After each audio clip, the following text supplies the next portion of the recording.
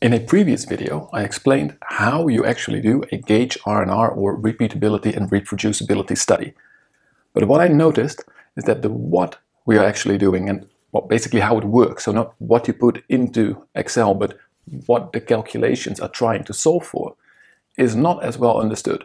Thanks to Nicolette for pointing it out in a comment, and I also saw that with other videos, with other websites, the same question keeps popping up. So let's make a video about what you are actually doing when performing a gauge R&R study. Hello, I'm Tom. Welcome to my channel about continuous improvement in an industrial setting. And today's video is again about gauge R&R, but where in my previous video I discussed why we do it, a little bit of what we do and then a lot of how we do it, let's talk about what is repeatability, what is reproducibility, uh, where do these numbers come from? What are you actually doing when you are sampling three times or when you take 10 or 15 samples? So what are the choices you make based on what is the statistical process giving us? Now, if you just want to know how to do a gauge R&R, go click that link and watch the other video. But if you are also interested in the concepts behind it, stay tuned We'll explain it today. Now the first very important concept is that no measurement system is accurate 100% of the time. That's the whole reason why we check accuracy, precision, and why we do these R&R studies in the first place. But I noticed that, especially to people who are new to engineering and statistics, this is a real serious first hurdle to take. And that may have to do with weighing measurements, so scales usually being pretty accurate. But even with scales, the secret is that usually we already picked the correct type of scales and accuracy for the application. This one, for instance, can measure, well, people, and it can measure up to 180 kilos, but with its 100 gram precision, it's not very suitable to measure, let's say, a bit of flour or other things I need in a kitchen recipe, where we have the small scales, but if I would stand on this one, I would break it. So we already put the correct measuring device and also the strength and accuracy and precision into most of the applications we have. But if we look a little bit further, I also found this wonderful thing. This is a, uh, it's a measuring cup, of course, um, but it can measure cups, milliliters, uh, so volume, but it also includes a scales in it. So this one I can uh, use to do all my kitchen measuring as well. So uh, my flour, my eggs. Um, but as you probably know, there are also many measuring cups that have a so many grams of flour or sugar or water scale on the side. So they're using volume and density to measure weight. And these, you probably also noticed, are a lot less precise. Now, is this a problem in the kitchen? Usually not, but it can definitely be a problem when you are doing this in an industrial setting with, for instance, flow meters instead of a big weighing balance. And we get into much more measuring variability when the thing that we're trying to measure is difficult. Like for instance, the wall behind me is white, but with one camera, with my video lights, let's check a bit what it does if I put the white balance on slightly different places here. So basically you would say it is exactly the same equipment, it is the same lighting, it is definitely the same wall in all of these shots, but it has been changing a lot, hasn't it? So the same sample, with the same device gives a different result in measurement. And now the question becomes, how important is this in the overall variation that we have in our process? And then a secondary question will be, does it fit within our specification limits? So using the wrong measurement equipment or using it wrong or simply having a lot of variation in your measurement system can lead to measurement errors. What Gauge R&R tries to measure are basically three things with the first being what part of the total variation we see in the process comes from variation due to the measurement device. And this is basically this percentage at the end that you see, and you'll probably remember less than 10% world class, 10 to 30% acceptable, more than 30% not acceptable. What it means is that at least 70% of the observed variation should be the process itself. And actually it would be even better if it's more than 90% of the variation we see comes from the process itself. Now, in general, we of course do not want a lot of variability in our process. If we are going to Six Sigma our processes, we reduce the variability, but it is important that the variability increase due to the measurement system be even smaller. Because if our measurement makes a lot of the variability we see, then it doesn't really tell us what the process is doing. It becomes just a lottery, and that is the last thing we need for Six Sigma. Now the second and third question, they actually break up the total gauge variability into what part comes from my equipment, so really from the measurement system itself, and what part of the variation is due to different people using it in a different way, or maybe reading the equipment in a different way. So this is what we call assessor variance or operator or laboratory staff. This is the difference people enter into the measurement system. And this, of course, we also see back in how we set up a gauge R&R study. Because to see what variation we get due to the equipment, so really the measurement device itself, we measure the same sample a couple of times. And you see we get slightly different results. And when we take the highest minus the lowest, we get the range between repeated measurements of the same sample. Now when we go over one operator and we check a number of different parts, but each of those parts has a range, we can see how much spread on average is there in this measurement. You see, when we have the same operator using the same machine, just all at one time, you have the ideal circumstances for your measuring system. So any variation we still see at this moment is due to the equipment. Now in the calculation, you see that we take the average of the ranges of all the samples from all the operators, but we are still taking averages only of the repeated measurements of the same sample. We're just taking a big sample of such ranges. So the effect between operators does not play a role here yet, as we just average it. And then you see that we divide this average range by a D2 value. And what this actually tries to do is to estimate the standard deviation in your equipment variability. Now let's take a look at that D2 table. The values themselves, just accept them also for yourself, download a D2 table, look it up on Google. They are just constants for getting a range into a standard deviation with different sample sizes and repetitions. Now, what do we see for our equipment variation is that when the M increases, that means when we have more repetitions, the number goes up. And this is if you test more things, the chance that they are pretty far apart the highest and the lowest, of course becomes greater. If we test, like in our example, only two samples, they will probably be picked somewhere in the middle of our distribution, or maybe one in the middle, one to one side. The chance of having one very low one, one very high one, is rather slim. So you divide by a relatively small number. Now when you take lots of repetitions, then probably you will get a pretty low and a pretty high one. So to correct for this, the number by which you divide becomes bigger. And we see that this g value is the number of parts that we have times the number of operators. Or in other words, the g value is how often did we measure one of the parts m times. Now you see that the d2 number decreases as we increase the number of operators or parts. And this is because we average the range that we get.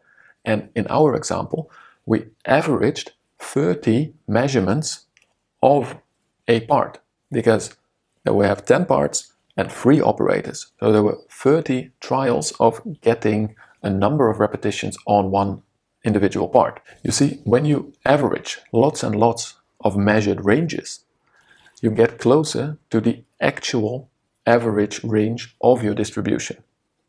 If we assume that we have a nice normal distribution, then we can also know that within a normal distribution, the average range of two randomly drawn points is this 1.128. And that's the one you will see at two point of repetition in the more than 15 row. Now these numbers do take into account how often you repeated the test and how many of the tests you did, but it is still better to, to have a large sample size with a larger number of repetitions.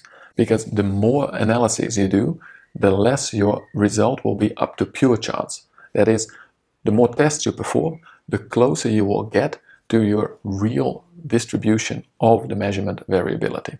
Then we test for reproducibility. So can another operator reproduce the same results the first one did? Now you can imagine that if you have multiple operators repeating more tests, then your total variation will go up, even if the operators perform wonderful.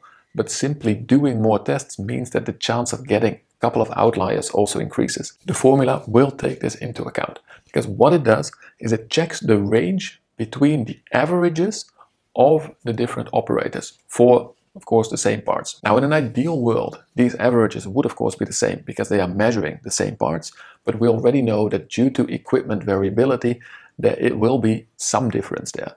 And what we check with the formula is, is the difference between the operators greater than we would statistically expect just because of equipment variation. The reproducibility factor with this calculation can be zero.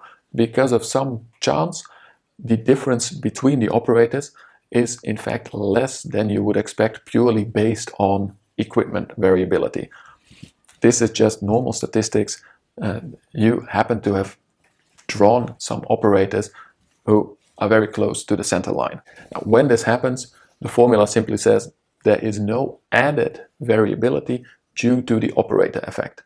But when we see that the difference between the operators is relatively big and is bigger than what we expect purely based on random chance because of the equipment, then we say, aha, there is also part of the total variation that is because of how the operators use the devices. And this is then the operator variability or reproducibility. We cannot 100% reproduce the same results when we use a different machine or different operator or vastly different times. Now again, there is a D2 value. But in this case, you see that the G is always 1. And this is because there is only one result per operator. We take the average of the values he found, but because we take this average and there is no ranging in here, there is just a single result for each operator. And the M is the number of operators. As you can imagine that when we take more operators, the chances of having a bigger range between the lowest and highest value goes up. So these two calculations will answer questions 2 and 3. And then when we combine those effects, we get the total gauge repeatability and reproducibility. Now you will see that to add them up, we square them and then take the square root again. This is because we are not directly working with the variation here, but with the sigma or standard deviation. And this is a square root of your variation. It's just a bit of maths that we will have to accept. You cannot add up standard deviations. You can only add up the variances to get to a total variation. And then to say something about is the observed R&R good or bad for our process, we of course also need to know what is the variation within the entire process. And that's what we will calculate next. And here what you will see is that we take all the trials by different operators for the same part, we average it out, and then we get an average measurement over all the trials by all the operators for each part. In our case, we have 10 of these averages, and we check what is the highest and what is the lowest part value.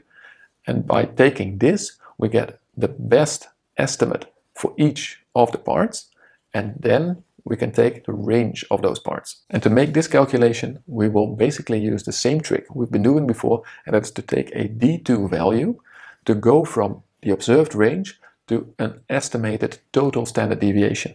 And again, the more trials you have, or in this case, the more different parts you have each operator measure, the higher the chances will be that you have and a very small and a very large part. You see, our entire process just has one big distribution of the values. The more randomly picked samples we take from there, the higher our range will be. So that's also why when the M increases in our D2 table, we get a higher D2 to correct for this phenomena.